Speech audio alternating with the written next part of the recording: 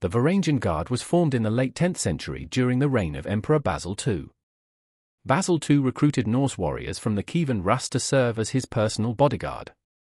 The initial members were mainly Vikings who had ventured into the Byzantine Empire through trade routes and military expeditions. Although initially composed of Scandinavians, the Guard later included warriors from England and other parts of Europe. After the Norman conquest of England in 1066, many Anglo-Saxons who fled the Norman rule joined the Varangian Guard. Loyalty and service, known for their fierce loyalty and exceptional fighting skills, the Varangian Guard was tasked with protecting the emperor and serving as an elite military unit in critical battles. Imperial protection, they served as the personal bodyguards of the Byzantine emperors, ensuring the safety of the imperial family.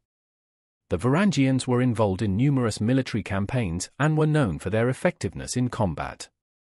They were often deployed in crucial battles and significant military expeditions.